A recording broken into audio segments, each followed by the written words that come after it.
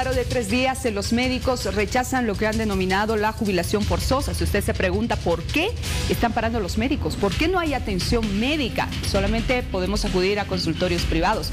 Aunque sí la atención en emergencia se está realizando, esta ha colapsado, por ejemplo, en el Hospital de Clínicas. Pantalla dividida, usted observa lo que sucede en el Policlínico Central. Eh, sí, muy cerca de la Plaza Murillo, hay gente que ya está esperando por la atención médica. Mire, en este lugar no estamos viendo por lo menos un letrero que señale y ratifique este paro de 72 horas, pero la gente peregrina, sí, por atención médica, muy tempranito llegan, a pesar de las bajas temperaturas, sí, hace bastante frío en La Paz. Y mire, tienen que esperar muchas veces durante horas para tratar de acceder a la atención médica que lamentablemente en muchos centros de salud ha sido suspendida por esta medida de presión. Los médicos no están de acuerdo con la jubilación a los 65 años, ojo, previa evaluación médica. Si todavía las personas están en sus plenas capacidades de seguir realizando su trabajo, ya sea como médicos, por ejemplo, como docentes y en otras ramas, podrán continuar ejerciendo el mismo. Caso contrario, deberán jubilarse. Rechazan este proyecto de ley. Desde el legislativo no hay un pronunciamiento y eso preocupa más. ¿Y quiénes son los más afectados? La población, los pacientes, ustedes los están viendo. Pero vamos ahora al Hospital de Clínicas. ¿Cuál es el panorama, Donato Hanover? El panorama no ha variado. Son, eh, bueno, si bien no hay la fila extensa, pero por lo menos son 15 personas que están acá haciendo fila de las cuales dos personas de la tercera edad eh, prácticamente han dormido acá. Señora, buenos días. ¿Desde qué hora usted está haciendo fila? No, habla español, eso eh, habla aymara solamente la señora. Eso es otra situación que complica a la gente que viene desde muy, muy lejos. Acá está. Señora, buenos días. ¿Desde qué hora hace fila usted, señora? He llegado, buenos días, a las cinco y cuarto estaba aquí. ¿Desde dónde viene? Sencata. Desde Sencata. Pero hoy es el tercer día. ¿Sabía que están en paro los médicos? Sabía, pero tengo cita médica hoy día. ¿Le dijeron que le van a atender teniendo cita? No, no sé eso ahorita, eso, pero me han informado otras personas que ayer atendido normal, los que están con cita. ¿Está arriesgando por si acaso? Sí. Estoy esperando eso. Que claro, hay que intentarlo, ¿no? No hay más. Exactamente, es la esperanza de la gente que tiene a fin de poder conseguir salud, eh, atención, porque están, hay siempre afecciones. Señor, buenos días, ¿desde dónde viene usted? Del alto. Del alto. Desde el alto. Del alto. Villadela. Desde Villadela. ¿A qué hora llegó acá? A las 5. 5 de la mañana. ¿Usted también tiene cita? Sí, tengo cita. ¿Le dijeron que le van a atender? No, mm, venía a averiguar solo para averiguar. Y con suerte si reciben atención es como los pacientes vienen acá al hospital de clínicas. Y bueno, si me permites, Vania, si para los médicos es un éxito tener a los pacientes en esta incertidumbre y que tengan que estirar el dolor del tratamiento, es criterio diferente los que se manejan. definitivamente, ¿no? Hay que ser un poco más simpáticos con la población que se encuentra en estas condiciones. Claro, cuando ellos protestan, reclaman, por mejores condiciones, que se mejore el servicio, mayor personal. Entendemos, es una demanda justa. Sin embargo, ahora esta movilización lamentablemente ya eh, está perjudicando a gran parte de la población y es a nivel nacional. Sí tienen derecho a su demanda, pero no a perjudicar el derecho de otros, como lo estamos viendo en este momento. A propósito del Hospital de Clínicas en La Paz, y este el panorama, situación similar en Cochabamba. ¿No es así, Tatiana Miranda? Bani Hospital de Cochabamba, si bien no hay filas, hay algunas personas que sí están llegando y se sorprenden con este letrero que dice paro de 72 horas. Ellos indican que no tenían conocimiento, a pesar de que hoy termina esta jornada y hay personas que llegan y se sorprenden, señor, por este paro. No sabía por pues. ¿Qué necesita usted? Yo chequeo nomás nada más, no voy un ratito no voy a estar. ¿Tiene fractura? No, control nomás ya, sin nada más. Solo que he tenido un problema, pues por eso he viajado. y me ha atrasado, pues al control nomás ya me ha tocado, sin nada. Sí. Muchas gracias. Incluso el señor nos decía que tenía que recurrir a la medicina tradicional por no venir a los controles, pero ahora ha decidido venir y se, y se encuentra con el paro. Pero mira también, Vania, hay una señora que está desde muy temprano y está sobre cartones, con frazadas. Señora Juana, ¿usted qué atención está buscando? ¿Qué necesita? Laboratorio, quiero. Laboratorio. La veo delicadita, ¿le duele algo? Temperatura. ¿Tiene temperatura? Sí. Ha decidido estar, tiene que estar echadita, no puede estar de pie. Sí. No tengo fuerza para estar parado. Ahora con este paro, ¿qué le diría usted a los médicos? Porque tal vez no la puedan atender. Yo diría que atiendan a los que están, a los delicados, a los que están mal, ¿no ves? Mm, Por lo menos que nos atiendan. Hace tres semanas está buscando ella atención y se encuentra ahora con este paro. Y hay muy poca gente, pero es gente que realmente necesita, porque la señora está con, con síntomas, tiene fiebre, está con malestar, entonces este es el panorama lamentablemente. Qué triste, de verdad. Los pacientes peregrinan por atención médica, entre tanto que es el último día de este paro médico y no sabemos lo que puede suceder la próxima semana, ¿no? Porque los médicos han anunciado en masificar su medida de presión. ¿No? ¿Esto por qué? Porque no hay una respuesta tampoco del legislativo. Hay que convocarlos una vez más para tratar de dar solución, porque no es posible que la gente esté pagando por los platos rotos. Ahí está. Mire, durmiendo, esperando en la madrugada y con letreros. Se encuentran con las puertas cerradas y letreros que Pero dicen que no hay atención. 6 con 13. Continuamos. Cambiamos de información, hablamos del exministro de Gobierno Arturo Murillo que debe indemnizar al país una condena que está recibiendo en Estados Unidos. El exministro Arturo Murillo debe pagar 6.2 millones de dólares de indemnización a Bolivia por la compra de gases lacrimógenos con sobreprecio en 2019. Según la justicia de Estados Unidos, el exministro tendrá que hacer efectivo ese pago. La investigación indica también que Arturo Murillo junto a Luis Fernando López realizaron la compra de lotes de granadas y material antidisturbios de las cuales pagaron 5.6 millones de dólares con un sobreprecio de 2.3 millones. En consecuencia, al intentar ingresar a Estados Unidos con una parte de la suma sin ser reportado legalmente, fueron detenidos y sentenciados por delitos de soborno y lavado de dinero. El exministro se encuentra acusado bajo los delitos de incumplimiento de deber fiduciario, conspiración civil, violación de la ley de Florida, enriquecimiento injusto, gravamen equitativo y demanda constructiva. Nos referimos al Congreso que estaba programado, o está programado en todo caso, del movimiento al socialismo de los seguidores de Evo Morales. El Tribunal Supremo Electoral envió una nota a la corriente de vista del movimiento al socialismo en la que le hace conocer cuatro observaciones que debe resolver en un plazo de 48 horas para realizar el Congreso Nacional del partido. La más importante es que el partido liderado por Evo Morales debe consensuar con las organizaciones sociales. Poco después de que la carta sea hecha pública, el delegado Diego Jiménez rechazó las observaciones del Tribunal Supremo Electoral, en especial el relacionado o las la relacionada con las organizaciones sociales. Diego Jiménez, delegado y miembro del equipo jurídico del MAS, señala que no aceptan esa observación. El Tribunal Electoral está pretendiendo forzarnos a negociar con gente que no es ni dirigente legítimo ni parte del partido, indicaba Jiménez. Seguimos hablando del Tribunal Supremo Electoral. ¿Qué sucede con Dina Chuquimia? Que fue aparentemente apartada del cargo, se posesionó a una nueva autoridad y Chuquimia presentó una nota indicando que ella seguía ejerciendo precisamente porque no había incumplido ningún punto de lo que establece la norma. La sala plena del Tribunal Supremo Electoral respondió mediante una carta a las últimas declaraciones de la ex vocal, Dina Chuquimia, quien dijo que no fue notificada de su destitución. Al respecto, desde el Tribunal Supremo Electoral aclararon que la designación presidencial de Gustavo Ávila en su reemplazo como vocal está en plena vigencia y bajo los márgenes de la legalidad. Este miércoles, el vocal Gustavo Ávila participó de manera oficial en su primera sesión en sala plena del Tribunal Supremo Electoral. Allí presentó el decreto presidencial 5141 con el que fue designado.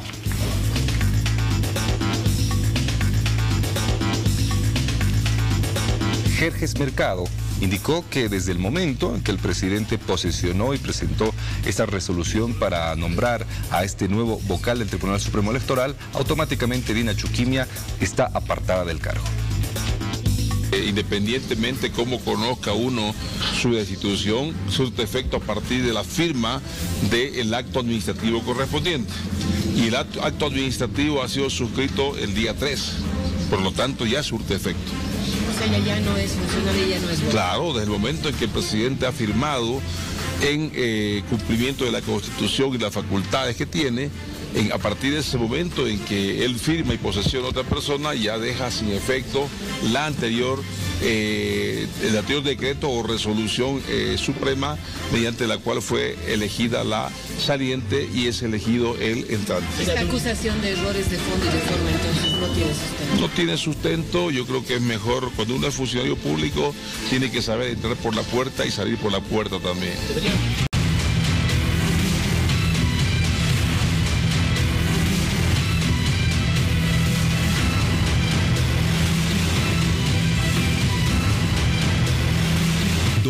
Necesites. Al día. Investiga. Estamos tras las pistas de Odalis que lleva desaparecida ya 12 días. Vamos a recordar lo que le ha pasado a esta joven. Fue de paseo con su pareja, quien ahora se encuentra, por cierto, en un centro de rehabilitación para menores. Él tiene 25 años. Esto en Calauma, allá en Potosí. Es algo que no se logra comprender. ¿Y por qué lo remitieron? Él es el responsable, se preguntará usted. Resulta de que este joven presentó contradicciones en su declaración del lugar donde Odalis se habría bajado de su propio vehículo después de una discusión. Desde ese momento no se sabe nada de ella. Sucedió el pasado 30 de marzo. Pero escuche porque hay nuevos elementos de investigación que han entrado en el caso de Odalis. En el tramo carretero La Paz Yungas, la policía encontró un lugar donde se pudo evidenciar la presencia de manchas de sangre en tres piedras. Este lugar, exactamente este lugar donde usted está observando. Realizaron una parada en este punto en el que algunas declaraciones del joven Joel Pérez se menciona que dejó a Odalis en un sector derrumbado. ¿Podría ser este? Parece que sí. Bomberos verificó el lugar donde se hicieron presentes oficiales de la FELC quienes recolectaron los rastros.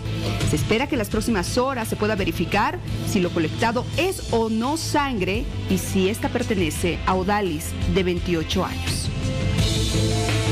Y atención porque la policía ha emitido también esta fotografía con números de referencia para que usted pueda hacer cualquier denuncia si es que sabe y si puede brindar algún dato porque es urgente que todos nos ayudemos en este momento. Buscamos a Odalis, señala. Alerta la policía 24-7. 712-8618, 712-8618. Si tienes algún tipo de información sobre el paradero de Odalis, estamos a tu disposición. Guardaremos absoluta reserva. Y eso es importante. Si usted tal vez tiene miedo de que lo involucren dentro del proceso, ya que es un caso grave, la policía ha emitido este número de teléfono y reitera que van a guardar absoluta reserva, es decir, no van a señalar quién ha dado la información. Ojo, por favor a tomarlo en cuenta. 712-8618, 712-8618, ahí está, alerta policía 24-7. A cualquier hora usted puede llamar, comunicarse, siempre dando datos fidedignos, por favor. Esto es muy importante porque podemos además complicar el trabajo de la policía. A propósito de este tema, los militares también se han puesto en marcha y están buscando a Odalis.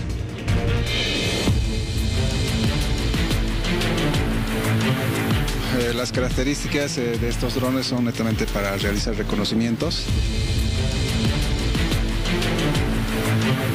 Por el momento estamos cubriendo el cuadrante entre Unduabi y Chutipata. Eh, El ejército acá está coadyuvando en la búsqueda eh, con la compañía de drones del ejército. Por el momento estamos cubriendo el cuadrante entre Unduabi y Chutipata. Hemos estado realizando la tarea de búsqueda justamente desde las horas eh, de la mañana. Hasta el momento continuamos. Bueno, eh, las características eh, de estos drones son netamente para realizar reconocimientos. Bueno, en este caso lo estamos empleando para reconocimiento aéreo y búsqueda en- para cumplir esta tarea en la que hemos sido encomendados. Los próximos días se ingresa también con Así es, eh, tenemos esa disposición para continuar y coadyuvar con esta tarea.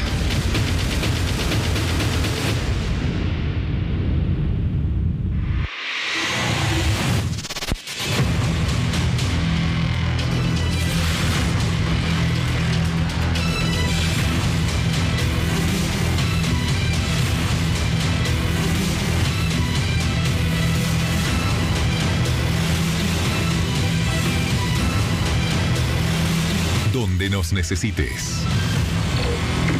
Al día, investiga.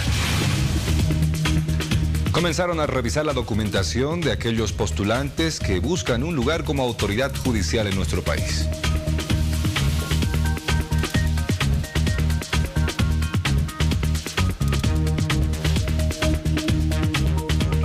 Y ahí vemos precisamente. Si la lógica es, debió haber sido lo que sea durante ocho años para poder entrar a la carrera, sí, pero recuerden que estamos tocando Tribunal Constitucional, ¿no ve? Estamos tocando Tribunal Constitucional, tiene que ser específica en el área, ¿no ve? Si, ya, si yo voy a evaluar, por ejemplo, a un abogado libre que toda su vida se ha dedicado, no ha entrado a la judicatura y ha adjuntado, porque hay varios que han adjuntado, todos sus casos del Tribunal Constitucional, sus casos en derechos humanos, el litigio, la consideración para ese abogado va a ser distinta.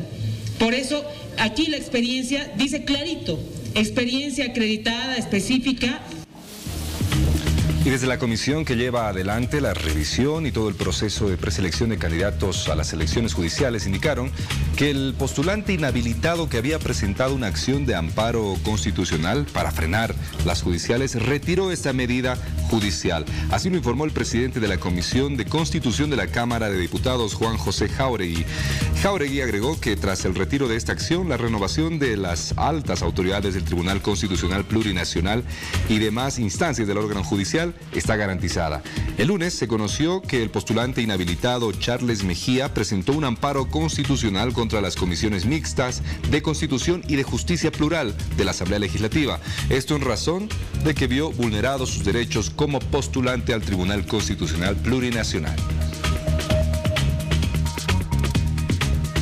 Hablando de lo que sucede con algunos eh, senadores, eh, autoridades nacionales y la, la imagen que vemos no, no está equivocada. ¿Por qué? Porque esta fotografía generó polémica, generó repercusiones y genera también algunas opiniones de sus colegas que piden, que piden sanciones para Leonardo Loza. El diputado del Movimiento al Socialismo, Rolando Enríquez, pidió sancionar al senador evista Leonardo Loza con una suspensión de 90 días sin goce de haberes por asistir a un partido de fútbol entre Real Madrid y Manchester City en España, en vez de trabajar, es lo que decía.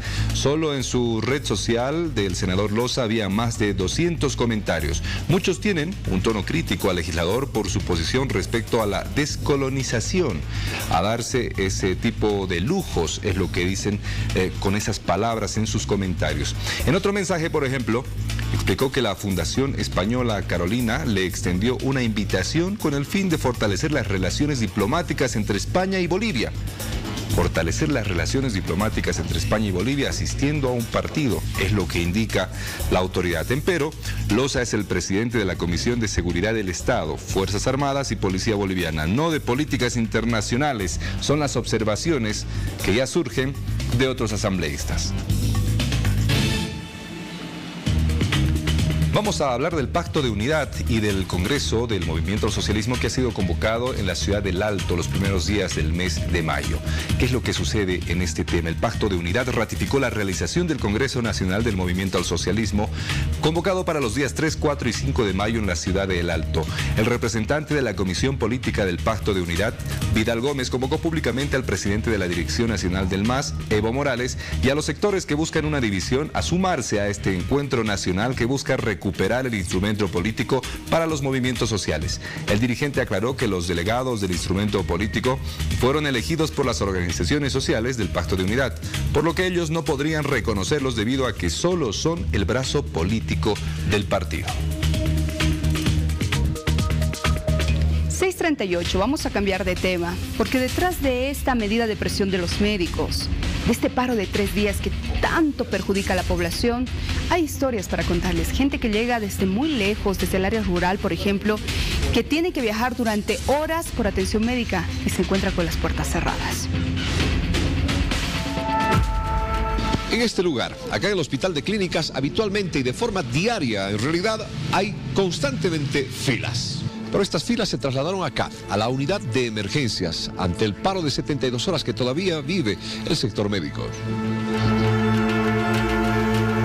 Por eso nos dijeron, si, si, su, si su mamá se pone mal, la tienen que llevar al alto, pero como que ahora no quieren, no quieren atender a mi mamá. Por el tema del paro. Les dijeron que no hay atención. Sí. Tuvieron que traerle acá a la unidad de emergencias y no hay espacio. Ajá, es como si fuera que nos dicen que vayamos a otro lado, pero ya no sabemos a dónde recurrir porque tampoco lo conocemos.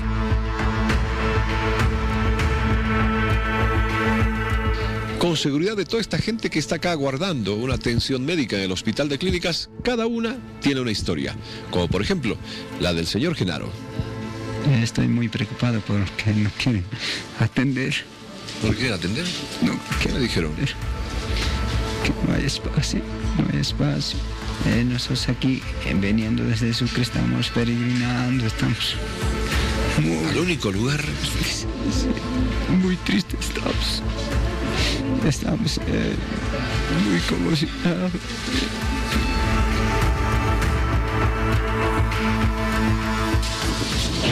Consulta.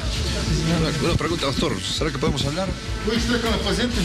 Los médicos no pueden hablar. En definitiva, ¿por qué? Porque hay mucha gente que tienen que atender y además la advertencia ya está acá al ingreso de la unidad de emergencias. Dice unidad colapsada. Es muy triste todo lo que está pasando. No se puede hablar de éxito, ¿no? En una media depresión. No, de ninguna manera, no hay. Estamos muy tristes. Los únicos perjudicados es la gente que necesita. Mire cuántos estamos en espera. Usted también está por horas y horas aguardando. Sí, estamos desde días esperando que nos dé una cama o que nos atienda. Y no hay dónde más acudir. No hay, no hay dónde más acudir. No podemos ir a otros hospitales porque mm, no se puede, no hay atención y tenemos que esperar solamente.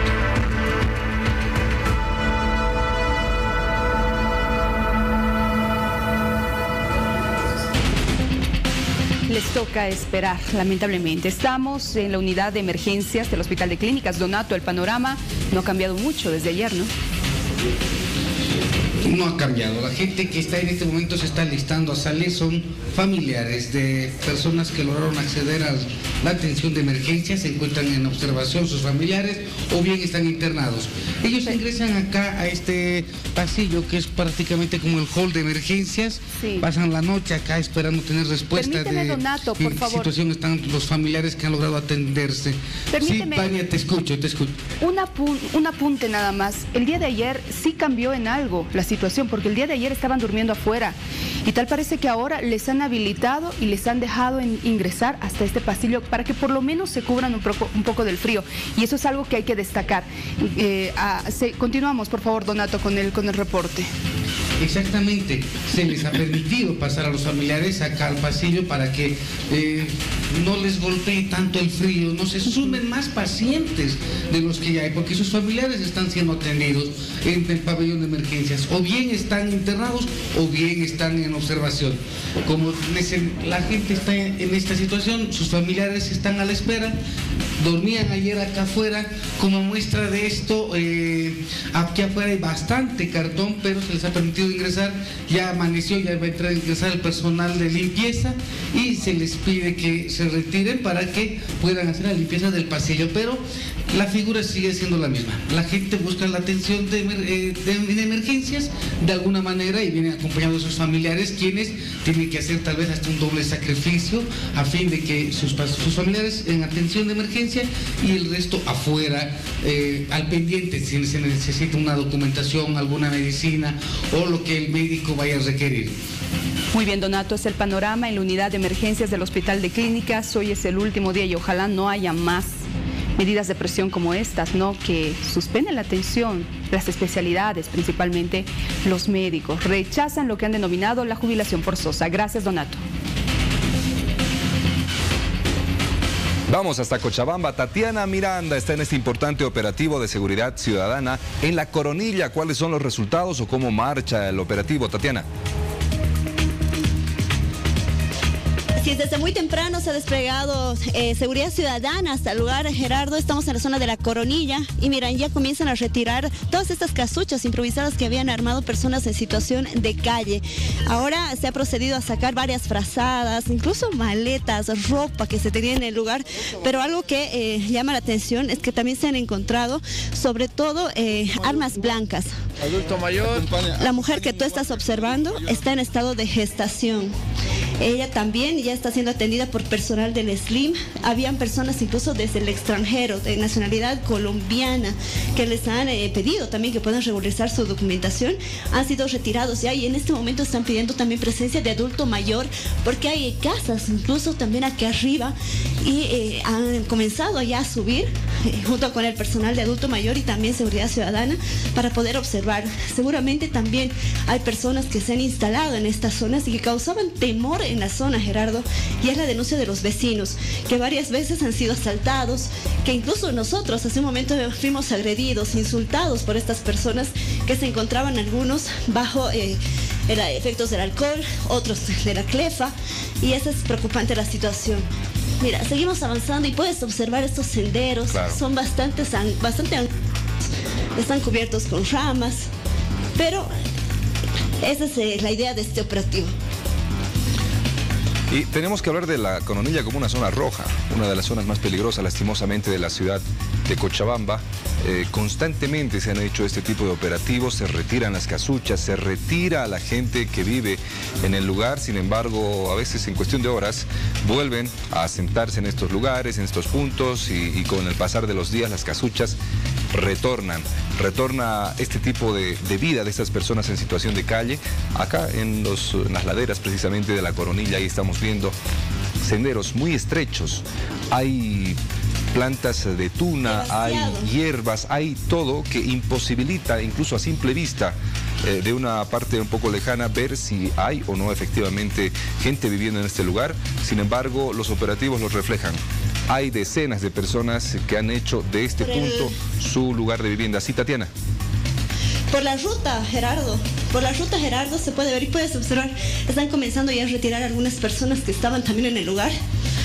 Hay bastantes ropas, botellas. Sí, por supuesto. Además eh, que estas personas eh, habitualmente consumen clefa, inhalan clefa, entonces eh, están generalmente bajo los efectos de alguna sustancia nociva. Volvemos en unos minutos con Tatiana para ver el resultado ya de este operativo, un operativo de seguridad en la coronilla en Cochabamba.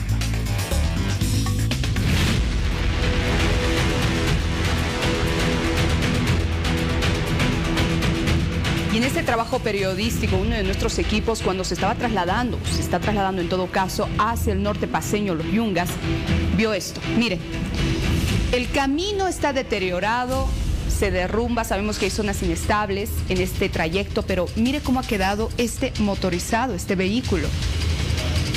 Tal parece que es un camión, ¿no? Un camión de alto tonelaje que lamentablemente eh, ha sufrido este siniestro vial eh, y ha eh, lamentablemente volcado, ¿no es cierto? No tenemos todavía el dato de el conductor, cómo se encuentra, si tenía algún acompañante, el estado de salud de los mismos, si han sido evacuados. Lo cierto es que nuestro equipo de prensa ha logrado captar este momento en su recorrido. Mire, ahí está. Es un carro cisterna, ¿no? Un carro cisterna, sí señores, acabamos de verlo, no sabemos qué está transportando, pero es inmediato que se activen todos los protocolos por el riesgo que conlleva. Mire cómo ha quedado parte de este motorizado, incluso parte del mismo eh, a un costado. Hay derrumbes en la carretera, así que por favor a todas las personas que pretendan transitar por esta vía, tome sus precauciones, sí, porque hay tramos que son inestables. A ver, vamos a hablar del conflicto diplomático entre México y Ecuador. Después de la sesión de la eh, Organización de Estados Americanos, la canciller ecuatoriana dijo que una posible disculpa a México no está en debate, no está sobre la mesa más adelante como Ecuador vamos a respetar también nuestra versión de los hechos y eso es importante. Son foros internacionales que están hechos para que de una forma equilibrada, a través del diálogo, de forma respetuosa, se escuchen a todas las partes y se saquen de soluciones. ¿El Ecuador está dispuesto a sentarse a dialogar con México? Siempre, el Ecuador siempre está abierto a fortalecer las relaciones con absolutamente todos los países. ¿Ecuador pedirá disculpas? Eso no está en la mesa de discusión en este momento. Pero repasemos un poco lo que sucedía en esta sesión de la Organización de Estados Americanos. ¿Qué dijeron los países? ¿Cuántos votos a favor? ¿Cuántos en contra? ¿Hubo abstenciones? Le contamos los detalles. Con 29 votos a favor, uno en contra, una abstención y dos países ausentes, la Organización de los Estados Americanos condenó la irrupción policial en la Embajada Mexicana en Quito para detener al ex vicepresidente Jorge Glass en una resolución aprobada este miércoles en Washington. No obstante, El Salvador de Nayib Bukele se abstuvo de votar en contra de Ecuador. Todos los países votaron a favor, salvo Ecuador, que votó en contra, y El Salvador, que se abstuvo. México, que rompió relaciones diplomáticas, no estuvo presente en la votación. Tanto el presidente ecuatoriano Daniel Novoa presentó el operativo contra la delegación mexicana como parte de su lucha contra la impunidad. La Organización de Estados Americanos tenía esas determinaciones y resoluciones.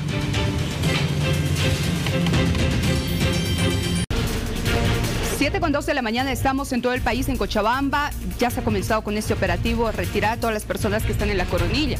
No, un lugar peligroso en la yacta, zona roja conocida así, Tati. Así es, tú lo dices, Vania, zona roja, ya son al menos 15 personas en situación de calle que han sido ya desalojadas de este lugar. Puedes observar que hay eh, lonas que se han utilizado, frazadas, y esto prácticamente era un dormitorio donde estas personas habitaban. Se ha encontrado, mira, incluso estos sillones, estos sofás que tenían dentro de estas casas y que ellos utilizaban para poder descansar. Mira, lo vamos a bajar y estaban así prácticamente dentro de estas carpas. Pero lo que más llama la atención en el lugar es las mismas personas están ayudando a deshacer estas casuchas, pero mira la cantidad de basura que existe. Son chamarras, son frazadas, zapatos, carteras y qué es lo que se conoce es que obviamente estas eh, indumentarias que están en el lugar han sido robadas, han sido tiradas en el lugar, acá en el lugar y bueno, también se puede encontrar hasta animales muertos, Vania. Así viven estas personas.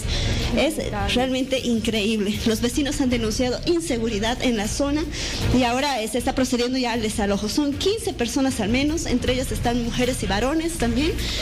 También eh, se ha encontrado una persona de la tercera edad y una mujer en estado de gestación. Ahora ya se va a proceder a ellos a llevarlos hasta eh, seguramente la estación policial del lugar para saber qué es lo que va a pasar en eh, las próximas horas. Esto está realizándose por seguridad ciudadana, Vani. Las personas que circulan por el lugar realmente se ven totalmente atemorizados. Personas con armas blancas, incluso bajo el efecto de la droga, están circulando por la zona y ahora Cochabamba busca ser un lugar seguro. Realmente eh, llama mucho la atención lo que se encuentra aquí y es increíble la verdad lo que uno puede encontrar. Claro, no viven en óptimas condiciones, ¿no? Porque tampoco tienen un techo, no tienen un trabajo, son personas que están involucradas con el alcohol, con las drogas, la clefa. Es una realidad muy dura. Ahora hay un detalle. Hay un detalle, mira, eh, estos jóvenes, estas personas, si bien generan inseguridad en Cochabamba, pero se los llevan, los arrestan por ocho horas y después nuevamente están en las calles. ¿Qué pasa con los centros de rehabilitación? ¿Por qué no funcionan? ¿Por qué no activamos los centros de rehabilitación para las personas drogodependientes, personas alcohólicas? Claro, estos centros eh, son de ingreso voluntario, no se puede obligar a las personas a que se queden, pero hay que dar por lo menos alguna opción a esta gente para que pueda rehabilitarse, por favor. Esto es muy importante y no solo en Cochabamba, sino a nivel nacional. Dura esta realidad. Gracias, Tati. 7 de la mañana, 5 minutos. Vamos a hablar de lo que sucede dentro del Tribunal Supremo Electoral, la salida de la vocal Dina Choquimia, la posición de un nuevo vocal en representación del presidente. Estamos precisamente con Dina Chuquimia, a quien damos la más cordial bienvenida. Y no sé si decirle vocal del Tribunal Supremo Electoral o ex vocal. Respóndanos usted, por favor. Buenos días. ¿Cómo está Gerardo? Muy buenos días a todas y todos. Eh, bueno, yo me considero vocal en el entendido de que hasta el momento nadie me ha hecho llegar una carta de destitución, una, una resolución que indique la destitución en mi cargo. Yo no he presentado renuncia y bueno, la sala plena, si es que se hubiera dado algún caso, la sala plena del Tribunal Supremo Electoral debiera haberme comunicado que mi persona ya no tiene el mandato. ¿No? En virtud de eso he remitido una nota a la Sala Plena del Tribunal Supremo Electoral que debe contestar a esa interrogante porque definitivamente se ha generado una incertidumbre, ¿no? Y acá tenemos precisamente las, las cartas, bueno, una que ha sido ya pública, que ha enviado al presidente Luis Arce, y la misma carta prácticamente al Tribunal Supremo, a la, a la sala plena, para que se explique qué es lo que ha pasado. Ahí ponen los causales para una posible destitución o retiro. Uno de ellos el vencimiento del periodo de funciones, que no ha sucedido.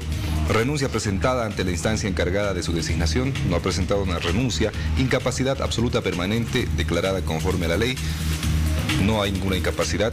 Eh, ¿qué, ¿Qué sucede en el caso de haber sido designada por la presidencia? Eh, hay diputados que manifestaban, por ejemplo, que tras una nueva designación automáticamente la de usted quedaba ya vencida. ¿Eso es así? ¿Qué dice la norma? No es así. ¿O necesariamente la sala plena es la que se encarga de eso? Necesariamente, bueno, el presidente del Estado tiene la potestad de designar a un vocal ante el Tribunal Supremo Electoral. No, no estamos diciendo que no puede hacerlo, puede hacerlo. Sin embargo, quien tiene la potestad de hacer la destitución o comunicar que el tiempo de mandato ha concluido es la sala plena del Tribunal Supremo Electoral. Ninguna otra autoridad que no sea la sala plena del Tribunal Supremo Electoral puede suspender el mandato de los vocales, tanto nacionales como departamentales. Y eso tampoco ha sucedido. A ver, entonces tenemos que entender que el procedimiento hubiera sido que el presidente envíe eh, una nota a sala plena indicando que va a poner a otra, a otra persona como vocal, sala plena abra una especie de debate y decida o, simplemente haga comunicar? Al revés, la sala plena debería haber comunicado si es que hubiera habido, por ejemplo, alguna causal para eh, mi destitución, indicando que la señora Dina ha perdido su mandato debería comunicar al presidente. Si se hubiera cumplido alguno de esos tres puntos. Pero claro que sí, una de las tres causales. No, lo, eh, el sala plena tendría que haber comunicado que mi persona ha perdido el mandato. Entonces el presidente sí podría haber hecho una nueva designación. Luego otro, y es más personal. Mi persona debería haber presentado renuncia por escrito ante el presidente del Estado porque eso manda la ley. Ah, dice, presentar renuncia ante la instancia que lo ha designado. El presidente me ha designado y yo debería haber presentado una renuncia personal. Es más, cuando tenemos la protección de la ley contra el acoso y la violencia política hacia las mujeres, dice que la mujer en el cargo de autoridad designada debe presentar su nota de renuncia o su carta de renuncia de manera personal ante el presidente, en este caso ante el presidente del Estado, quien es quien me ha posesionado. Y eso tampoco ha sucedido. Entonces, y es más, Gerardo, el decreto presidencial que me designa dice las formas de pérdida de mandato. La, la, forma de pérdida de mandato en el caso específico de la vocal Chuquimia es la renuncia. Y eso no ha sucedido. Eso dice el decreto de su designación. Así es. No, ahora, entonces. Ahora, perdón, perdón que le corte. Por ejemplo, si hablamos de, de autoridades o funcionarios designados a nivel público, estamos hablando cualquier momento, en una designación, cualquier momento se puede prescindir de los servicios de esa persona en institución pública. Pero para eso se le hace llegar un memorándum de agradecimiento de servicios. A eso. Primero. Así es. No hubo ningún tipo de comunicación, comunicado, carta, nota, nada. Nada. Que le llegó a usted diciéndole que ya no va a ser vocal. Absolutamente nada y es precisamente, estoy pidiendo esa aclaración al Tribunal Supremo Electoral, porque le digo y le reitero, el único que tiene la potestad y facultad de destituir vocales, si usted quiere, aunque no existe ese concepto, de confirmar la conclusión de mandato de los vocales, nacionales y departamentales, es la sala plena. ¿No? Entonces no ha habido esa situación, no ha habido un comunicado previo y, tal vez eh, yo creo que le han hecho cometer un error al señor presidente, ¿no? Porque eh, yo el día jueves estaba en un seminario internacional, llego al evento y ya por redes sociales estaba dando vuelta ese decreto supremo. O sea, ni siquiera le, llamaron para decirle. No. ¿Usted habla con el presidente? ¿Ha hablado con el presidente últimamente? No. ¿Ha tenido algún tipo de problema quizás? No, para nada, para nada. Yo, yo más bien he considerado que estos cerca de tres años que estoy trabajando eh, me han dejado trabajar en el marco de la independencia de poderes, en el marco de la independencia en la toma de decisiones Que así que debería se ser tiene en toda función pública. que así debería ser particularmente en el órgano electoral, porque el órgano electoral, uno de los cuatro poderes del Estado, es un órgano independiente, ¿no? que en el marco de la coordinación con los otra- otros órganos puede trabajar, pero no puede, este, no puede trabajar en el marco de eh, no ser independiente, es un órgano totalmente independiente, hay un- una ley que rige el trabajo de los vocales, tenemos un presidente en la sala plena que lo elegimos nosotros como vocales, tanto los vocales elegidos en la Asamblea Legislativa, que son seis, y mi persona que soy designada por el presidente. ¿A qué atribuye usted este cambio? ¿Qué le pasa por la cabeza? ¿Qué piensa? Me pasan mil cosas. De, de entrada, el tema este de eh, no han pensado, yo creo que no han pensado al momento de hacer la designación, no han pensado en que mi persona, por ejemplo, está amparada en la constitución política del Estado. Si bien el presidente me ha designado, esa designación pasa a responder al mandato constitucional que dice que los vocales, no dice la vocal o el vocal, los vocales del Tribunal Supremo Electoral, y se aplica a los departamentales, tienen un tiempo de mandato de seis años, ininterrumpidos. Pero más allá del, del cambio como tal, la razón. ¿Por qué Eso. cree, por qué cree que, que- que ha surgido este cambio? Eso es lo que quiero saber. Pero le pasa algo por la cabeza.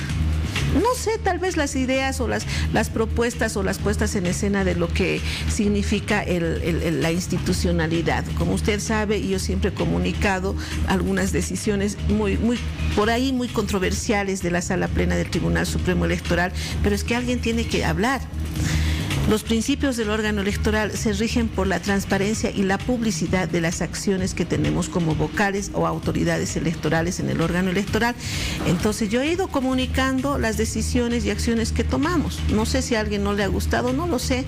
Por eso es que necesito tener una respuesta a, esta, esta pe- a este pedido que les hago y este recuerdo que les hago a los miembros de la sala plena del Tribunal Supremo Electoral. Señores, le digo, comuníquenme Claro. ¿no?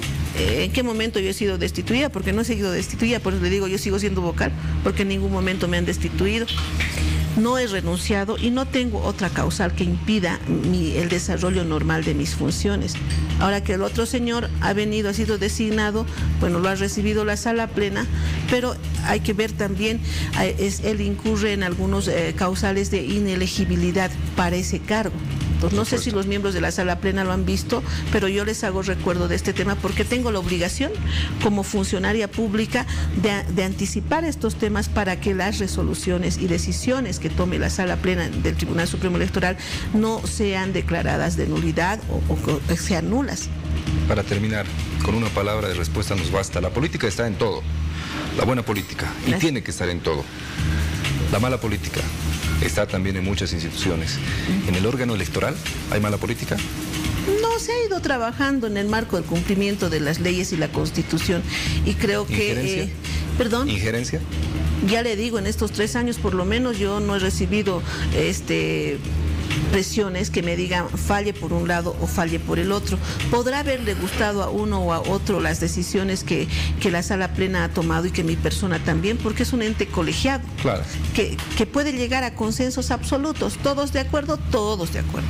En otros hay disensos y para a veces los vocales presentamos disenso o más bien disidencias cuando no estamos de acuerdo con un tema y consideramos que no debe ser y se respeta, se respeta porque es un ente colegiado y más aún es un órgano donde debe primar la democracia Por y supuesto. la libertad de expresión también. Como, como en todo, en todo espacio. Le devolvemos las cartas, vamos a estar a la espera de, de esta respuesta de las autoridades, ya sea del Tribunal Supremo Electoral o de Presidencia, para conocer un poco más a detalle, si es que se puede, si es que nos permiten precisamente las instancias que han tomado la decisión, conocer un poco más de los motivos de este repentino cambio. Muchas gracias por su tiempo. Muchas gracias a usted Gerardo y siempre es un gusto estar con ustedes. Muy buenos días. Que tenga buen día. Gracias. A ver, ¿cu- ¿cuánto tiempo falta para celebrar el Día de los Niños? Menos de 24 horas. Menos de 24 días. Ah, un día. Ya Un está día. mañana, ya es. Toda la semana hemos estado con lindas historias, destacando a muchos de los, de los chicos, de estos niños, ejemplares en muchos casos, ¿no? Ayer me quedé conmovido con la historia de Juan, los y ahora vamos a hermanos. conocer la historia de dos pequeñitos también. Sí, Hay son una dos. niña Una que me llamó la atención.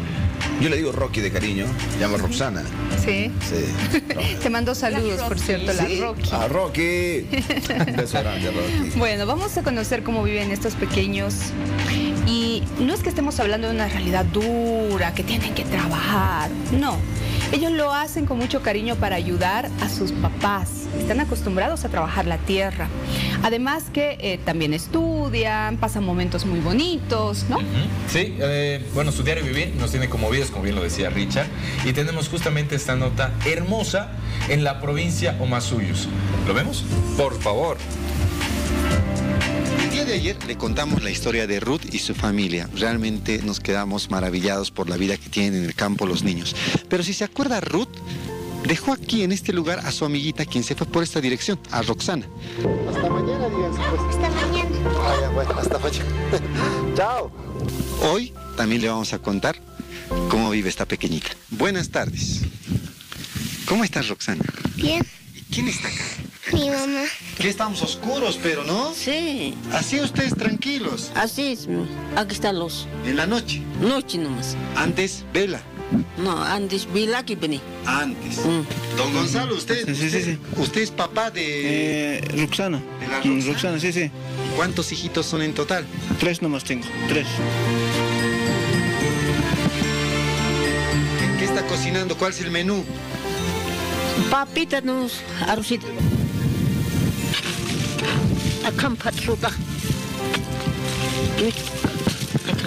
En este momento está recogiendo ella a la papá. Roxana con seis añitos. Pero hay momentos en los cuales también ella toma la picota, vean. Y ella debe tener también esa función. Como toda la familia y todos sus hermanitos.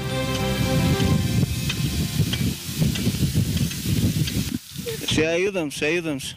Con la escuela llega, ayudamos. A veces no te ayuda, tarea, con tareas. Sí.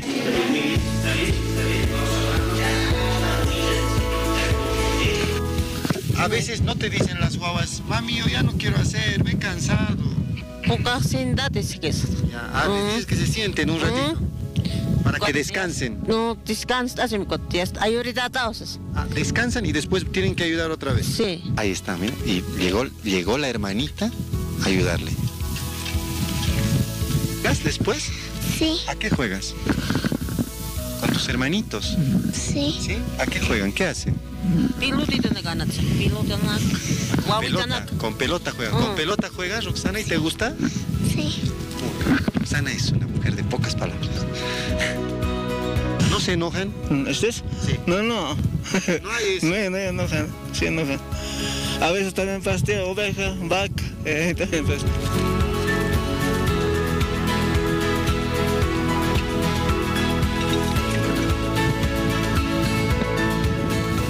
Verdadero esfuerzo que se ve reflejado en actividades que se hacen netamente en familia.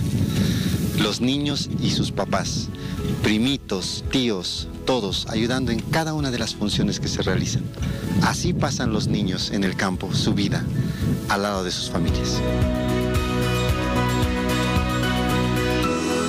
¿Cuál? Aquella. ¿Esta o esta? Esta. Continuará. Esta historia continuará. Continuará en los próximos minutos, las necesidades, pero a la vez con el convencimiento que estos niños lo hacen para tratar de encontrarle un sentido a la vida, ¿no? Bien uniformadita. Sí, además uniformaditos, medicitas blancas y a trabajar, se dijo. Y lo hacen con. Pues saben que tienen que ayudar a la familia, saben que lo tienen que hacer y disfrutan de la naturaleza. En vida de muchos en algunos casos. Sí, sí, sí. Eh, y tienen los, los parámetros eh, de valores, de educación muy bien marcados. Y eso es quizás lo que diferencia a las nuevas generaciones de Sí, ciudades, de metrópolis, de cosas así, porque llegan, saben que tienen que lavarse las manos, cambiarse la ropa, almorzar, ir a ayudar a, a los papás en el campo. Tienen obligaciones, sí, responsabilidades. Sé- Realidades de niños diferentes que vamos viendo en cada lugar, en cada ciudad, en cada población, así como ustedes están viendo en casa, que nos muestra una cosa, que todo niño es feliz, que todo niño le, le pone ese empeño y nos da esa, esa lección de vida, ¿no? De, de valorar cada cosita Claro. que tenemos. Yo, yo escuchaba a los papás, eh, porque las entrevistas se hacen con toda la familia. Y lindo escuchar a los papás porque se nota que los papás no generan una obligación, por ejemplo. Ellos hacen, disfrutan, hacen sus tareas también, te dicen los papás. Así que hay una complicidad con toda la familia para que todo ese núcleo familiar vaya creciendo alegre. Pero créeme que son niños preparados para todo. Yo sentí como, como una máquina de tiempo esta, esta nota. Les estaba comentando, ¿no? Que recordaba mis años de cuando era Tili, Tilicito, pequeñito. Y pues eh, con mis primos eh, sembrábamos papas, hermosa cebolla. tu mano. Lo que tiene que... Claro, uy, es, tiene sus ah, ampollitas. Y nada, pues le mando un saludo a mi abuelita que, y, a mi, y a mi abuelo también que está allá en el cielo, que nos decía, ¿no? Vamos a sembrar. eh, tenemos una finca ahí en Caracara, ellos son tarateños del campo. Y pues nada, le mando un saludo a mi abuelita. Bueno, Dale. qué lindas historias para compartirlas con ustedes y se viene la segunda parte. Ay, Así es, 7 de la mañana con 31 minutos. Estamos en la zona de Miraflores. En este caso vamos a ver lo que sucede también en un policlínico. ¿No es así, Donato Hanover? Centro de especialidades, dependiente de la Caja Nacional de Salud. Acá no afecta el paro, acá el trabajo se realiza con normalidad. La gente ha ingresado 7.30 en punto de la mañana, se ha abierto la puerta y las personas, pocas que habían inicialmente, han entrado. Dos o tres personas estaban haciendo filas desde las 7 y cuarto, por decir, y eh, en, este, en estos últimos minutos la gente ha llegado con normalidad. Personas que han pensado que por el paro acá no iban a atender caso de mi mamá, no señores, acá sí están atendiendo, vengan las distintas especialidades como endo- endodoncia, cirugía general, gastroenterología y otras, las que se atienden acá, los médicos están trabajando, bueno. no, el paro no afecta a este policonsultorio porque es el centro de especialidades Bania. Qué buena noticia, eso es algo positivo porque la gente no se ve perjudicada, gracias. De todas maneras también a algunos trabajadores en salud eh, se han quejado porque señalan de que no pueden asumir esta medida de presión ya que les van a descontar los salarios, pero también eh, dan como prioridad la atención de los enfermos, de los pacientes y eso es algo positivo. Gracias Donato Hanover, hay más en Al Día Tu Día. Golazo del Puma Qatari. Sí, se habilitan los Puma Qatari futboleros. Cuando hay partido, después del juego dicen cómo vuelvo a casa. El estadio está lleno, hay una saturación de transporte alrededor de Miraflores. ¿Dónde están los Pumas y qué servicio van a entregar cada vez que hay fútbol? Sobre todo un partido de estas características. Hoy juega Bolívar frente a Millonarios. Jimmy Chávez, jefe de operaciones de eh, Puma. eh, La Paz Bus nos habla a continuación acerca de estos detalles. Jimmy, ¿cómo estás? Buenos días. Muy buenos días, Richard. Eh, un saludo cordial a todo, a su, toda su teleaudiencia. Bueno, ¿cuál es el servicio que van a ofrecer cada vez que hay un día de partido? Puntualmente hablando del juego de hoy entre Bolívar y Millonarios. Bueno, el servicio que ofrece el Puma Catari es el de transportar a todos los usuarios que van al- a los partidos, tanto del Bolívar como del Stronger, para que tengan un viaje seguro de retorno a sus hogares. ¿no? Tenemos ocho rutas que estamos habilitando para transportar a todos los eh, usuarios que van a ir al estadio. ¿De dónde parten estos buses? Solo es para el viaje de retorno, ¿no es cierto, Jimmy? Así es, así es. Los buses van a partir a partir de las 8 y cuarto de la noche, en este caso. Eh, tenemos buses que van a salir de la Buche, esquina Carrasco, de la avenida Saavedra, esquina 10 Romero, de la avenida del Ejército, esquina 10 Romero igual, y de la avenida Simón Bolívar. ¿Cuántos buses están habilitando para este servicio, Jimmy? Hoy inicialmente estamos habilitando ocho buses a nuestra, a todas las rutas a las que va el Pumacatari. ¿Se alteran los precios o se mantienen las tarifas? No, se mantienen, se mantienen los precios, así que no hay ninguna modificación. Perfecto, entonces están en los puntos ya mencionados por parte de Jimmy Chávez, jefe de operaciones del Puma Catari, porque van en los Puma Catari futboleros. Sí, bueno, gracias por este servicio, por darle un poco más de comodidad, seguridad y tranquilidad al aficionado al futbolero que disfruta de cada uno de los partidos de Bolívar y Die Strongers. Un abrazo, buenos días.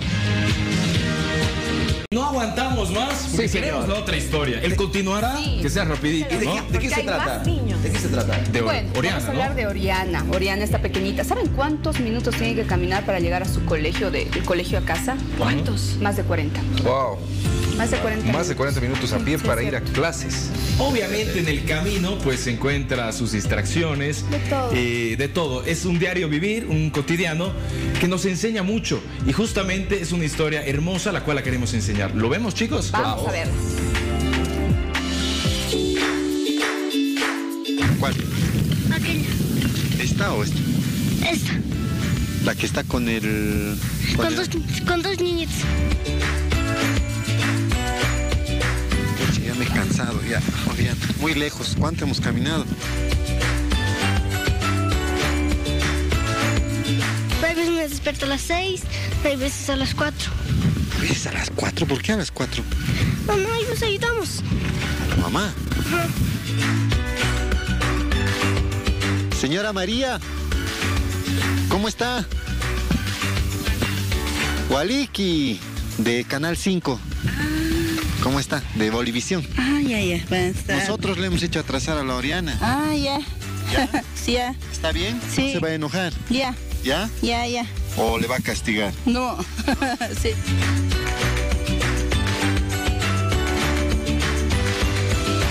¿Quiénes son ellos? A ver. Él es su hermanito de la Oriana. Kelvin, Condor y Clash. Kelvin. Kelvin. ¿Y él quién es Kelvin? Él es mi primo Luis. Miren quién vino. Ahí está. Véngase, tome asiento acá. Ábrele, ábrele campo a la señorita, muy bien. Estaba preguntándoles aquí. Aquí hay una tele chiquita. ¿Aquí ven películas o no? Sí. Hay veces hay tiempo, hay veces ayudamos. Es otra vida en el campo, ¿no ve?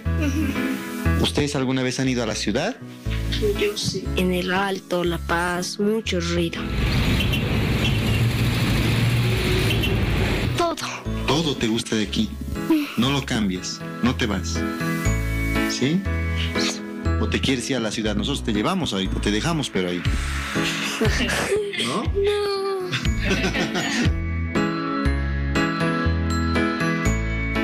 Don Braulio, usted es el abuelito. Sí, sí, sí. Don Braulio nos está llevando también porque hay con la Oriana. Vamos a ir a ver. ¿Y dónde está el Kevin? El Kevin, más que se vengan todos.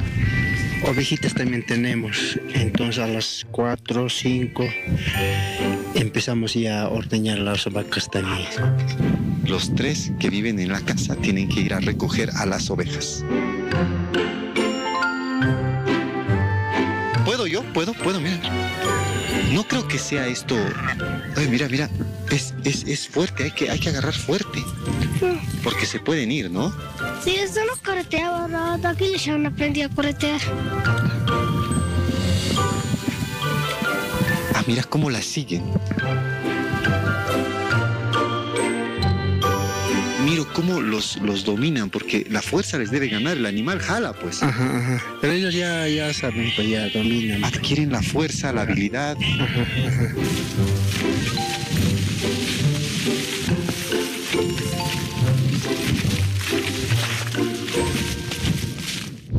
¿Dónde están los papás? Chica. No, estudian lejos, estudian. Cuando vienen, ¿qué pasa? ¿Cómo es ese día cuando vienen? Feliz. Lo vamos a sorprender sus hijos. Aquí hay alguien que quiere decirle algo, le va a decir, papá te extraño. Hola, papá. Hola, hija. ¿Por qué no vienes? Te estoy extrañando. Pues, es que todos pues aquí eh, con los estudios entonces no puedo salir fácilmente, pues hija. ¿Y mamá va a venir el día de la madre? Eh, yo creo que sí va a venir. Siempre hay metas que, que tengo un objetivo de salir adelante, pero siempre cuando, por mis hijos, ¿no? Se nota que lo extraña mucho. Sí, es que siempre a veces cuando le llamamos, siempre le exigimos acerca de, de lo que va a hacer tarea, va a ser siempre hijo, así diciéndole que los niños siempre quieren estar juntos a sus papás. Acá vamos a abrazar de su parte a Kevin y a, y a- y a Oriana, ¿ya? Ya bueno. Listo, que le vaya muy bien. Aquí, ven. aquí. Ya van a volver tus papis, ¿no? Vas a estar bien.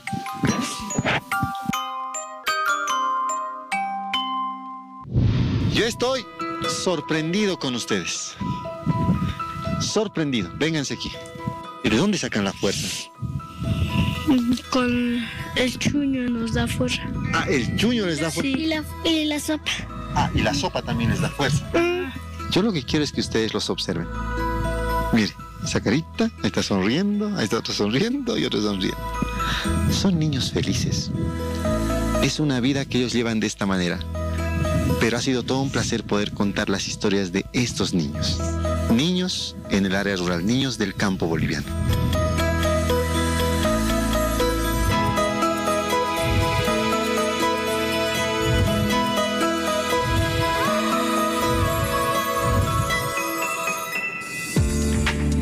Cuatro historias que conocimos desde el día de ayer. Y esta de Oriana igual pues cala profundo en nuestros corazones. Estamos a nada, a un día prácticamente, o menos de un día, de este- esta fecha importante. Y hay que saber, sí, valorar todo lo que tenemos y aprender de estas historias. Estas historias maravillosas que le contamos desde una provincia que es Omasuyos. Un poco lejos, sí, con una realidad a lo mucho diferente a la nuestra. Laura, eh, son cuatro historias que mañana también las vamos a reflejar acá en el Día Tu Día. Así es, tienen que estar atentos porque hay, aparte de grandes historias, grandes sorpresas. Mañana Día del Niño, así como estas historias que usted vio en su pantalla, hay muchas realidades que tal vez uno en su momento dice, yo podía vivir así, si me voy al campo, si tengo acá en la ciudad un niño que tiene tecnología, otro que no tiene tecnología, pero todos son felices a su, a su manera, a su forma, tienen a su mamá o a su papá lejos, como en este caso Oriana y Kevin, que nos nos hizo como ver un poco, Sí, ¿verdad? sí. Esa realidad. Están ellos estudiando, Oye, ellos también quieren salir destaco- adelante. Yo destaco el esfuerzo de los papás. Se lo hacen por los niños. Los niños también, ya tienen conciencia mucho de ellos, son grandecitos. Sus papás se esfuerzan, valoren a sus papás también, los niños, ¿no? dentro de todo ese contexto de la A los felicidad. abuelitos. El abuelito que se esfuerza y el papá dice, estoy trabajando para proyectarles un mejor futuro, para darles lo que urgentemente necesitan. Ah, Bueno, realmente lindo, me conmovió el... Un, un abrazo hasta Chijipina, ¿no? Hasta este lugar que está a las orillas del lago Titicaca. Un abrazo a toda la gente que vive en esta zona. Hemos conocido su vida, su realidad y estos pequeñitos. Con, con- con Gerardo queremos irnos a. Tenos dos semanas de vacaciones y vamos a. Pero así, deja el celular, todo, dos semanas. ¿Será? ¿Será que van a dejar el celular? ¿Será que fuera estrés también? Hay muchas personas que hacen esa rutina, se van una semana a un lugar, Sí. pero dejan toda la tecnología. Todo. Y dicen, no saben lo relajado que ser. volví. ¿Y cuánto se debe aprender, no? Cierto, Y se aprende más conociendo estas historias. Chijipina grande. En vez de Día del Niño, creo que deberían ser grandes guerreros. Sí, Porque sí. cada situación que les va poniendo la vida. Ahora eh, hay muchos temas de que muchos dicen, antes teníamos facilidad, pero ahora creo que está un poquito más complicado también ser niño. Por el tema de la tecnología, por eh, cuestiones políticas y todo esto. Sí, es cierto, es cierto. Pero bueno, mañana prepárense porque tenemos sorpresas para estos pequeños valientes, ¿no? Pequeños, pero con sus grandes historias.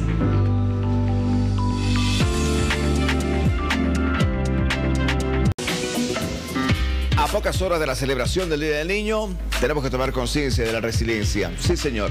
Vamos a hablar de este tema un poquito más adelante con Antonio Álvarez del Rotary Internacional Distrito 4690. Antonio, bienvenido. Estamos con el proyecto Polio. Me parece muy linda su iniciativa para que todos nos sumemos al proyecto mismo, ¿no? Más allá de que el polio sea eliminado, aunque no todos estamos con las vacunas necesarias para eliminar eh, el polio, aunque en otros países todavía esto se discute. ¿Cómo nace esta iniciativa? ¿Qué personajes tenemos acá? Antonio, bienvenido. Gracias a Rotary Internacional por visitarnos. Muchísimas gracias, buenos días, buenos días a todos ustedes que nos sintonizan. Eh, bueno, el Rotary Internacional, eh, ustedes saben que a través de un esfuerzo con la OPS y otras organizaciones se eliminó la polio, ¿no? Pero todavía está latente y el proyecto que estamos haciendo ahora es- son unos peluches eh, para el Día del Niño que tienen un contenido de salud mental, ¿no? Entonces, eh, eh, ¿de qué se trata? En esta época, que es un, mes del niño, el mejor regalo para tus hijos es algo que contribuye a su salud. Entonces, estos son unos peluches que representan a personajes importantes que han salido de la polio. A pesar, a pesar de haber estado en esta condición, eh, son exi- exitosos. El caso de Frida. Frida Kahlo tenía. Frida Kahlo tenía polio. Sí. También eh, en bolivianos, hay dos bolivianos que están en este proyecto, está Carlos Langa y también Jorge Eduardo. Carlos Langa, periodista, y Jorge Eduardo, artista, cantante. Sí. Y, y- y Isaac, que era un gran violinista, que es director en orquesta. Todas estas personas han salido de esta dificultad. Entonces, cuando tú adquieres este peluche y le, le regalas a tu hijo, aquí tienes una etiqueta donde tienes la historia y un QR. y los papás pueden poner el QR a los niños con su tablet y ahí se ven los videos de estas personas, si podemos pedir que pongan en la pantalla, de, de los testimonios, historias, cómo, cómo han salido a través de la resiliencia, ¿no? De esta eh, eh, dura, ¿no? Du- esta enfermedad tan dura que han tenido varias de estas personas, ¿no? Y han ido adelante porque es como una parálisis, ¿no? Y no te deja ir hacia arriba, a, a trabajar. Te pone Eh, muchas eh, limitaciones. tu psico- Sí. Exactamente, es muy limitante. Entonces, este proyecto viene que puedan adquirir, ahí van a ver un QR, están a la venta. Yo quiero esta jirafita de, de- de Frida Kahlo. Voy a poner acá, te tiene el QR con un lindo mensaje además. Lo puedo adquirir. Ella me cuenta cómo. Mi vida estuvo marcada por varios desafíos, incluida mi batalla contra la polio. Contraje la enfermedad a los seis años. Esto dejó mi pierna derecha más débil y delgada que la izquierda. Y a pesar de todo, siguió adelante. Gracias, Rota, le dice eh, Frida Kahlo, una recordada artista mexicana. ¿Cómo podemos adquirir estos peluches, Antonio? Ustedes van a ver en pantalla, tenemos un QR, eh, ahí tienen un contacto telefónico, si ustedes pueden ver. Y en este QR eh, tienen el, número donde se, les va a distribuir. Ustedes nos llaman, les damos otro QR para que lo adquieran. ¿Y dónde va este fondo? Eh, Con la venta de cada peluche va al Fondo Mundial para eliminar la polio. ¿No? Y además contribuye a la salud mental de los niños y tienen una representación importante ¿no? de personas que han salido. Ustedes ven aquí está el logotipo, este es el proyecto en el mundo, ¿no? Polio Now. Y cada peluchito tiene este, eh, digamos, esta identificación. ¿No? Y las historias. Aquí está Jorge Eduardo y te relata su historia, ¿no? Sí, señor, ¿cómo? Él, él triunfó en su carrera artística, ¿no? Y ahora lo llaman, ¿no? Eh, un artista muy importante, ¿no? Eh, no, con, con mucho éxito además. Bueno, qué linda iniciativa del Rotary Internacional, el distrito 4690. Yo me voy a quedar con la jirafita, no sé, quiero el leoncito de Jorge Eduardo, no sé. Bueno, entro al QR y sobre todo el mensaje y poder colaborar. Gracias a Dios, el polio ya no existe, pero cumpla con las vacunas y bueno, sea resiliente con las personas que aún mantienen las secuelas de haber contraído el polio en algún momento de sus vidas. Antonio Álvarez, gracias, por estar con nosotros. Nos sumamos, sí. Sí, así es lo que tú dices, es muy importante. Eh, son cinco vacunas y, y en nuestro país es bueno hablar de esto, solo están llegando a la tercera. No están vacunando a sus hijos. Es importante que terminen todo, todo el proceso y todas las vacunas que tienen que estar en la lista, ¿no? Esa es una recomendación. Y apóyennos, por favor, llamen ahora, vean el QR, escríbanos y les vamos a enviar uno de estos peluches que es de salud mental para los niños. Lindos y coquetos peluches, gracias a Rotary Internacional, Proyecto Polio. En esta semana de los niños, sea resiliente y comparta con nosotros esta muy buena iniciativa, linda campaña además. Tenemos más.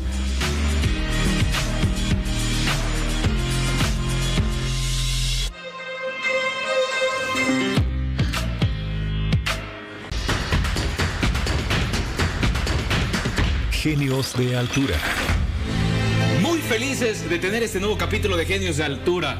Ya lo habíamos anticipado y conoceremos la historia de Fer Masi, que es un fiel pero representante de la cultura chicha y además de la literatura de minibuses. ¿Quién no leyó alguna frase tal vez, no? Ay, me encanta. No es culpa del chofer, digamos, que llegue. No es culpa también, ¿no? Claro, sí. Es, es correcto. O, y si yaucaramos, digamos. Tu envidia es mi progreso. También. Esa, increíble. Bueno, esta literatura eh, presente en los minibuses forma parte también eh, de la escritura de Fermasi. Él lo que hace es recopila los poemas. Los... Perdón, Fermasi es su nombre artístico. No, no, es F-H-E-R, Fer, y su apellido Masi. Ah, qué, qué interesante. Pensé que era un- una sola palabra. Parece, ¿no? Cool. Em, pero no, eh, me, me desvié creo un ratito. ¿De qué estaba hablando? De, las los- frases. De las frases que son en base a unos poemas. Él tiene las pegatinas, las hace pegatinas y va regalando a todos los minibuseros para Ah, que lo peguen en sus, en sus minibuses. ¿Quieren conocerlo? Por favor, vamos.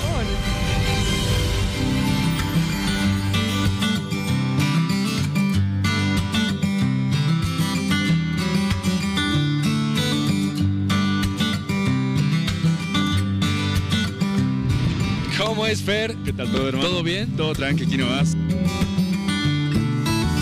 recientemente he estado lanzando libros de poesía. Eh, este año he lanzado uno que se llama Política de Duques y está dedicado enteramente al alto, ¿no?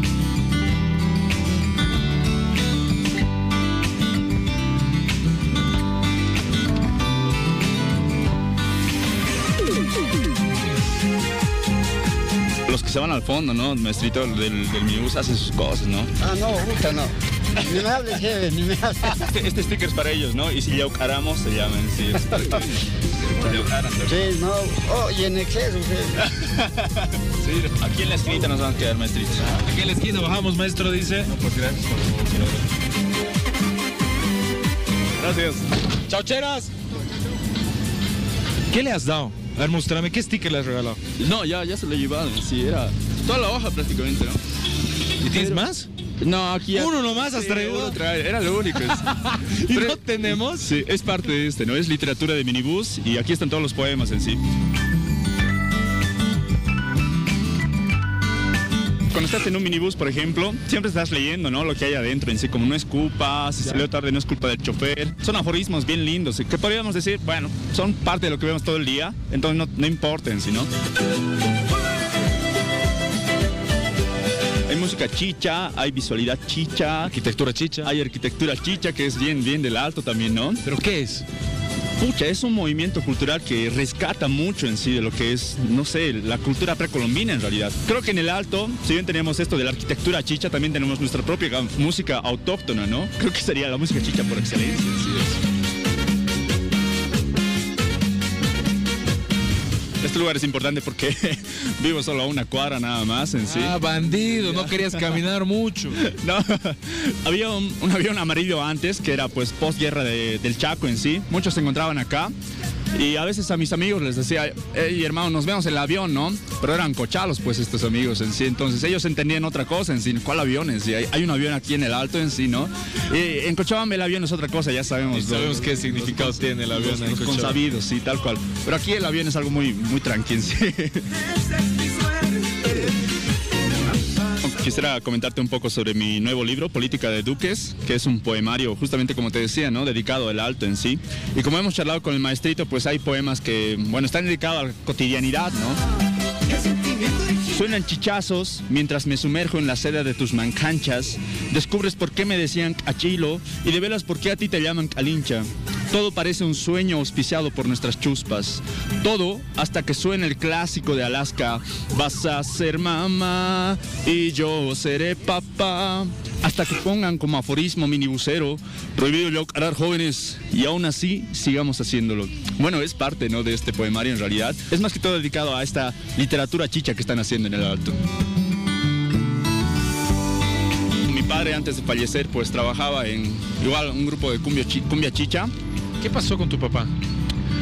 Bueno, eh, pucha, es algo medio trágico, ¿no? Él, él estaba saliendo de una boda, de una fiesta en sí, en su trabajo, y era la última vez que estaba yendo a tocar porque semana después se iba a volver cristiano. Lamentablemente a él lo, ha- lo han atropellado un minibús, y qué irónico, ¿no? Que de alguna manera dedica mi poemario en sí a los minibuseros, pero es creo una manera de poder curar ciertas heridas en sí. Sal por la noche y no por la herida. ¿Dónde es la cita? ¿En el foco azul o la bandera blanca? Cantas cumbias en bodas de sábado y es Altolima la vieja. Te observa el Chacaltaya y mañana quieres ser cristiano. Sal por la noche en la naranja avenida. Marcas paso Tata Santiago y ahí donde pateas un minibús te atropella otro. Lo que quieres es justamente lograr contar esta historia, no solamente tuya y de tu familia, sino también de tu ciudad, el Alto. Sí, tal cual. Creo que como yo hay, pucha, varios chicheros, chicheras que están inspirados con todo lo que les pasa y en algún momento lo van a devolver en una hoja, en un libro, en una obra de teatro, en una película, en música, en lo que sea, ¿no? Fer, quiero decirte que eres un genio. De altura.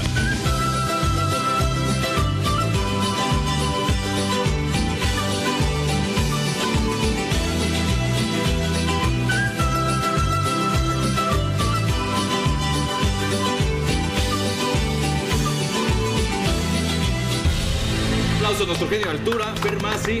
Eh, yo pude leer un poco de su libro y realmente esa conexión que tiene con lo urbano, con igual las jergas que en nuestro medio usamos, es espectacular.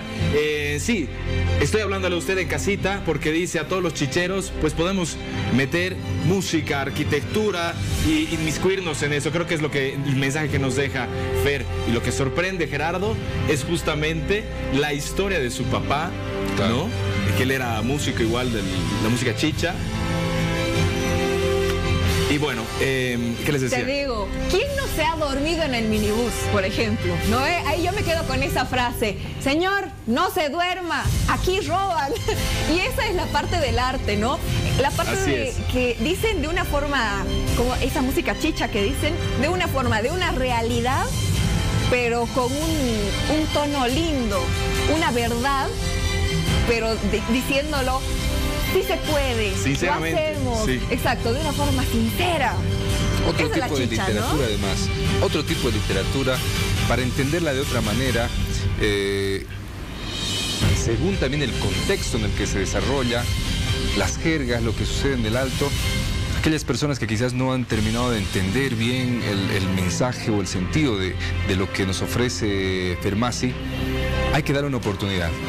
Es, es como que un, un- un escritor de otro continente, de un tema muy pesado, nos llene de palabras rebuscadas. Hay que tratar de entender y hay que disfrutarlo, porque es un poco la cultura también alteña, ¿no? Sí, eh, hablábamos, uno de sus escritores favoritos es pues eh, Víctor Hugo Vizcarra, ¿no? Eh, y sí, tiene algo metafísica popular, me animaría a Mucho, decir. tal vez. Sí, mucho tal vez, de estas jergas. Y eso es lo que me encanta de nuestro genio de altura. Nos encanta en realidad porque tiene premios a nivel internacional, ganado concursos y justamente este es un nuevo eh, libro, Política de Duques. Es un sinfín de poemas que nos habla acerca de la cultura chicha, presente en todos los lugares de nuestra ciudad del Alto. Por eso nos dice, nos quer- quiero verte en el, en el avión, ¿no? Porque es la ruta entre la 16 de julio y la ceja donde Claro. él puede coleccionar un sinfín de historias. Qué Su lindo. papá, chichero, y justamente por una tragedia eh, pasó lo del minibusero y ahora quiere regalar esta, esta literatura de minibuses. Fermasis, nuestro nuevo genio de altura, y si usted conoce alguno, pues eh, no duden en escribirnos al 703-72452. Lo estamos buscando a usted, a nuestro genio de altura. Amigos, con alguna frase que se quedan tal vez de que han leído en el minibús. Y si ya ocaramos, me, me gusta. Que yo sonría. Prohibido yaucarar. Prohibido yaucarar jóvenes. bueno, esto fue Genios de Altura. Continuamos.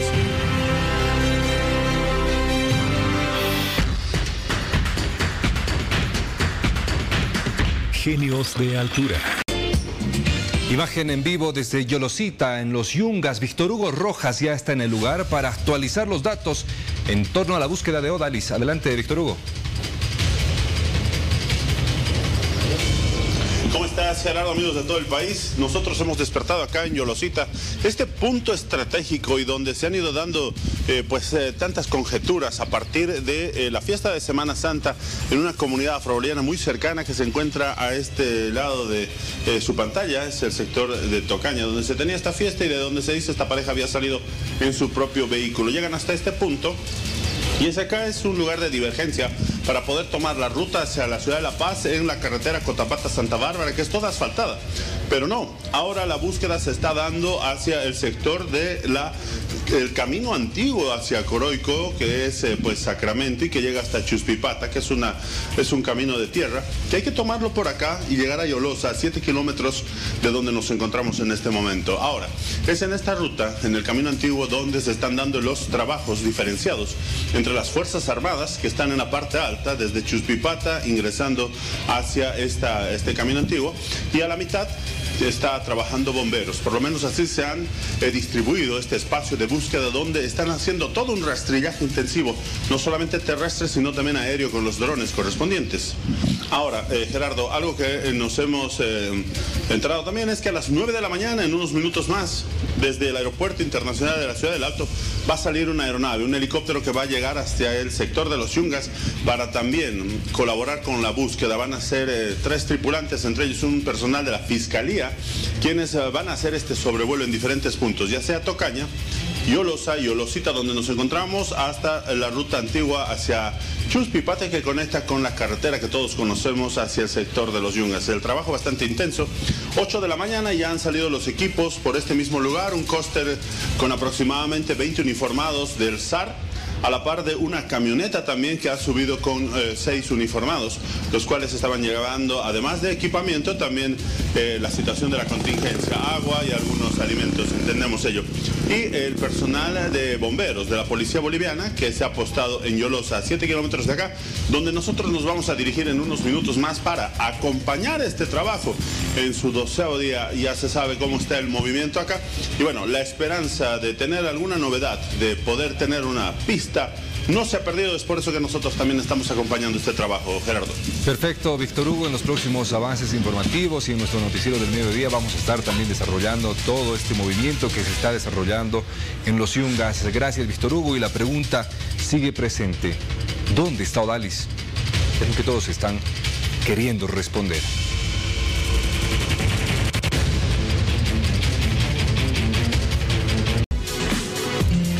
Estamos en el mes de los niños y también hay que destacar sus derechos, respetarlos, que es lo más importante.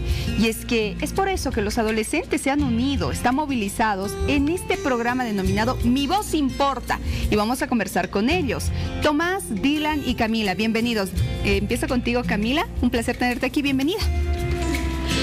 Muchas gracias por esta oportunidad.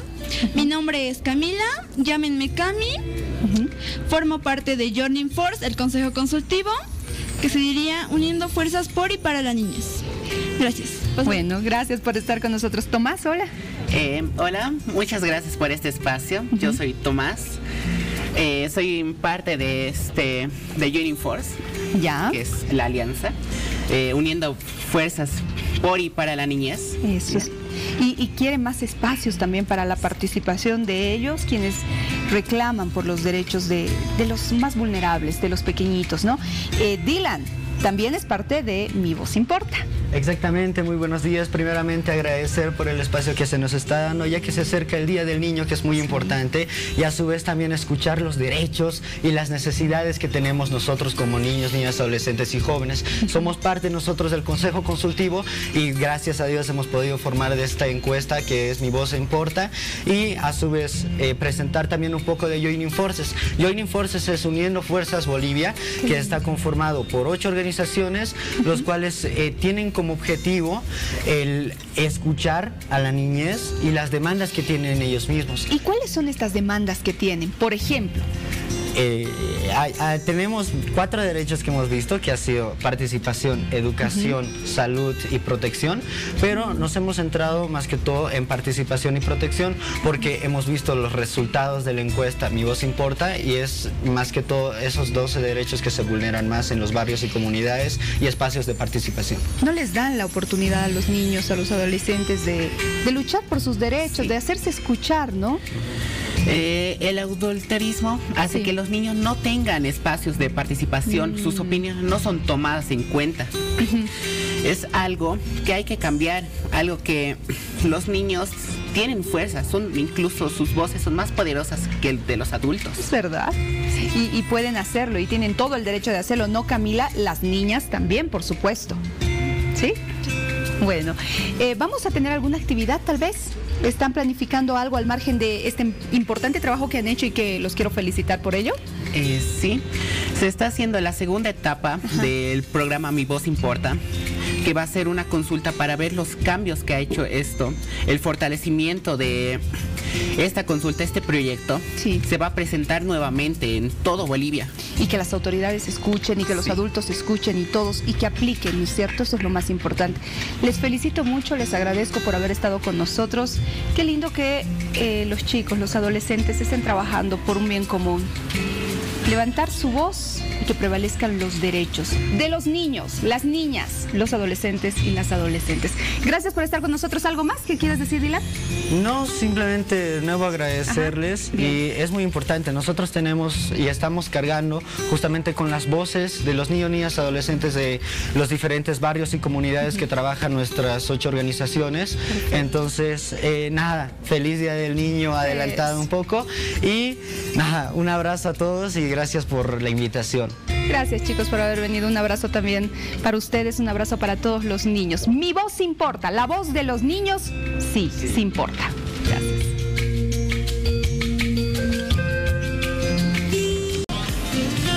Atención, vamos a hablar acerca del Parkinson. Usted dirá, pero no, esa enfermedad solamente le da a los abuelitos, a las abuelitas, ¿yo de qué me voy a preocupar? No, todos tenemos que asumir conciencia. ¿Y por qué esta fecha? Se preguntará usted. Porque hoy es el Día Mundial del Parkinson. Y vamos a conversar en este momento con Soledad Pérez, quien es diputada del MAS, a quien le doy la bienvenida, gracias. Ella está promoviendo una actividad muy interesante para dar a conocer justamente eh, sobre la enfermedad, ¿no es cierto? El doctor André Herrera es neurólogo, también nos va a explicar un poquito más. Y acá estamos con un paciente, don Freddy Flores, hace 20 años que tiene Parkinson. Inicio con usted, diputada, bienvenida. Un placer. ¿Por qué le motiva a realizar esta actividad, el promover eh, la información sobre el Parkinson? Bueno, muy buenos días. Bueno, principalmente por, eh, por temas familiares, porque lastimosamente el Parkinson le puede tocar a cualquiera. Tenemos de tipo, como el médico lo va a explicar, qué tipo de características tienen, pero sobre todo apoyar a esa gente que está en sus casitas, que no quiere salir por el miedo a que la sociedad no los acepte. Y esta campaña es de concientizar a la empatía que tienen que tener hacia estos enfermos del Parkinson. Al temblar, al tener movimientos anormales, la gente se asusta y nosotros queremos concientizar y decirles que a todos les puede tocar esta enfermedad. Eso es muy importante y le agradecemos eh, mucho por estar con nosotros para dar esta información. Doctor, ¿qué es el Parkinson? ¿A quién le da o a quiénes le puede dar, por favor? Eh, muy buenos días, muchas gracias por la invitación. Bueno, el- la enfermedad de Parkinson es una enfermedad neurodegenerativa, quiere decir que las neuronas van muriendo poco a poco. No en este caso mueren las neuronas que secretan dopamina, que es la sustancia que al faltar causa todos los síntomas. Esta enfermedad en la gran mayoría puede dar a cualquiera. O sea, una persona que ya a mayor edad tenga más riesgo de que padezca la enfermedad. Generalmente mayores de 60 años tienen el mayor riesgo. Pero también hay casos de jóvenes, ¿no? Hay casos de jóvenes, eh, no necesariamente genéticos, pero sí hay un porcentaje pequeño, por ejemplo, el 10% de Ajá. todas las personas que tienen Parkinson Sí. pueden llegar a, a ser genéticos y esto aumenta el riesgo por tres o cuatro veces más de padecer la enfermedad. Ahora, doctor, eh, ¿hay cura primero y se sabe qué origina el Parkinson? Puede ser her- hereditario, le escuchábamos decir. Eh, es un pequeño porcentaje, pero sí. Es como que hay familias que tienen dentro de esa familia genes que, que predisponen a, a la persona que tenga Parkinson y esto le aumenta mucho el riesgo o, le- o hace que la enfermedad aparezca en jóvenes, ¿no? o sea, edades muy tempranas. Un- una cura como tal no hay No existe cura, solo Ujú. existe tratamiento sintomático. y se puede prevenir o no. Mm, No, pero hay cosas que pueden ah, disminuir el riesgo de padecer. Por ejemplo, que una persona haga ejercicio, que una Ah. persona tenga una buena alimentación, que no se exponga a pesticidas o disolventes, compuestos químicos, eso incrementa el riesgo de la enfermedad. Muy bien, es muy importante saber porque a veces decimos, ¿pero qué será el Parkinson? No, en nuestro país no hay Parkinson. Sí hay, señores, ¿no? Y también hay pacientes jóvenes, relativamente jóvenes. Don Freddy, hace 20 años se entera que usted tiene esta enfermedad, ¿no? ¿Cómo ha sido su vida de, de ahí en adelante? Eh, bueno, eh, esta enfermedad empezó de a poco, ¿no? En, en mi vida.